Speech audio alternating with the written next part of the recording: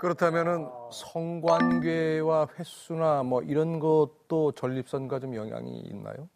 어, 사람들이 이제 소변발이 쫙쫙 나가줘야 이렇게 음. 강하다고 생각을 하는데 약해지면 그것도 약해졌다 이렇게 생각을 하지만 실제로는 그렇지 않습니다. 어떤 그 우리가 네. 발기되는 능력과 이 전립선과는 크게 관련은 없어요.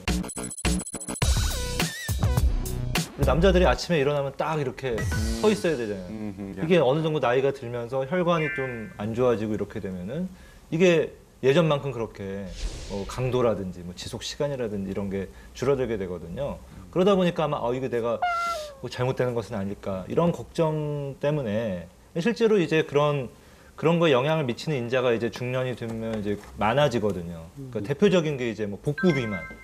예? 비만이 있으면 이게 이제 그 혈관에 안 좋은 영향을 미치니까 발기가 잘 안 될 수가 있고 또 뭐 고혈압, 당뇨 발기가 되려면 이렇게 피가 쫙 이렇게 모여줘야 되잖아요. 그렇죠. 근데 이게 혈관이 안 좋으면 어떻게 피가 확 한꺼번에 안 모이죠. 아, 잘안 모이고 또 그 안 빠져나가고 이런 문제가 생기니까 정말 내가 정말 예전과 다르게 정말 많이 약해졌다 이렇게 느끼시면은 혈관에 혹시 문제가 있지 않은지 한번 검사를 받아봐야 돼요.